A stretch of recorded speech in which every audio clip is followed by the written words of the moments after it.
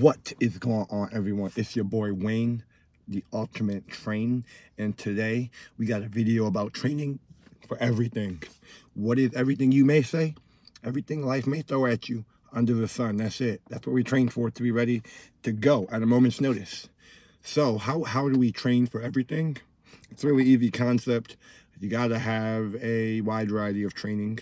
Uh, it's going to have to be smart training now. You can't just throw anything into a program and expect to get the best results. It has to be organized correctly. You don't want too much of one stimulus in the beginning of the week and then none in the second half. You don't want to miss parts of your body. So it's, it's important we go over how to train for everything because they're the way. They're the right way and they're the wrong way. so when we say train for everything, generally we have to begin by breaking down what is everything.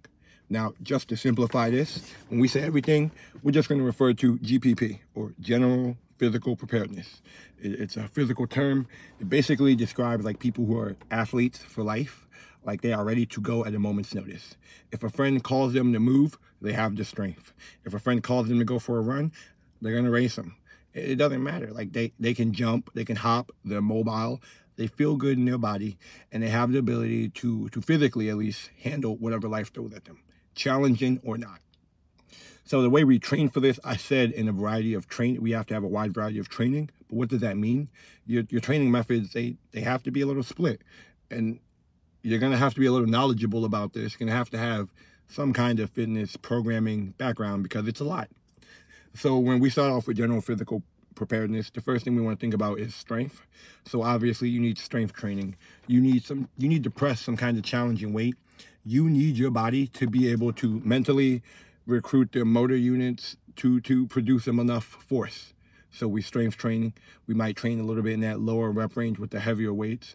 On the flip side, some days you want to do endurance training.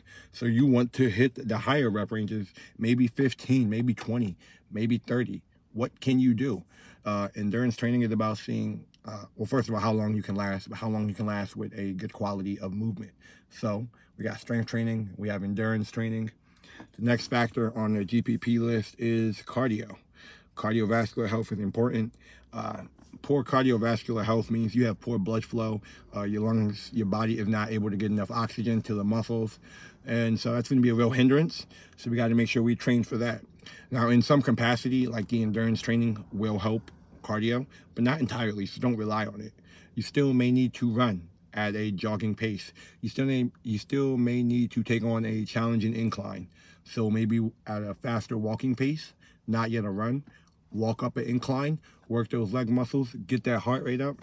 Something cardiovascularly, you hate running, jump ropes, even swimming, uh, staying in the sauna and getting some heat health, that kind of thing, stuff that makes your heart pump because life strength, like strength being a skill, uh, cardiovascular ability is a skill as well. And so if you're not used to breathing hard, if you're not used to like, you know, your heart beating, you got to get used to that so you can take advantage of it uh, when the time comes and when it does happen.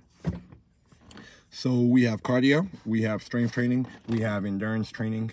Now we just got a little kind of smaller things, but they still kind of fall in those broader categories. Kind of in that strength resistance training area, we have plyometrics. So we're thinking like explosive stuff, stuff that gets you to move your body in a good fashion, uh, and conditioning. Conditioning is similar to cardio. Maybe it's with a little bit of resist resistance thrown in. So like kettlebell swings, kettlebell jacks, uh, dumbbell push-ups, stuff like that. And then the very last thing, so we have strength, endurance, cardio, uh, conditioning, plyometrics, and the last thing for GPP is Wow, I am drawing a blank. Mobility. The last thing is mobility. Uh, none of this stuff matters if you can't move through a comfortable range of motion without getting injured. I preach on mobility so much because it is important. Uh, if you don't have mobility, you're kind of trash. You just, you're kind of waiting for an injury to happen. And when this injury happens, it's to knock you out the game. Then you got to take time off to recover. Then you got to build back up to where you were before. So mobility is important. It's just flexibility through a range of motion. So how do we work on that? We may do dynamic training in the beginning of the workout, or dynamic training, dynamic stretching in the beginning with some static stretching at the end. So we may do some moves that require a high ability to move, like a kettlebell windmill, like uh, there's a lot of stuff that requires a good bit of mobility.